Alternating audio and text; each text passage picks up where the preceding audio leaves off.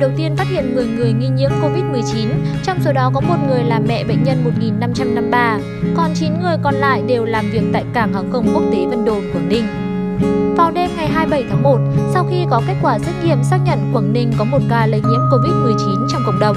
Ban chỉ đạo phòng chống COVID-19 tỉnh Quảng Ninh đã tiến hành họp khẩn để kích hoạt ngay biện pháp phòng chống dịch COVID-19 trên địa bàn tỉnh ở mức cao nhất. Cán bộ Trung tâm Kiểm soát Bệnh tật tỉnh xét nghiệm mẫu bệnh phẩm ngay trong đêm ngày 27 tháng 1, phát hiện thêm 10 ca nghi nhiễm COVID-19 trong cộng đồng Quảng Ninh. Các địa phương ngay lập tức tập trung tối đa nguồn nhân lực trong công tác truy vết và sàng lọc đến F4. Trung tâm Kiểm soát Bệnh tật CDC đã lấy mẫu xét nghiệm ngay trong đêm đối với các trường hợp F1 liên quan đến bệnh nhân 1553. Nam 31 tuổi, địa chỉ tại tổ 1, khu 6, phường Hồng Hà, thành phố Hạ Long, tỉnh Quảng Ninh, là nhân viên an ninh cảng hàng không quốc tế Vân Đồn.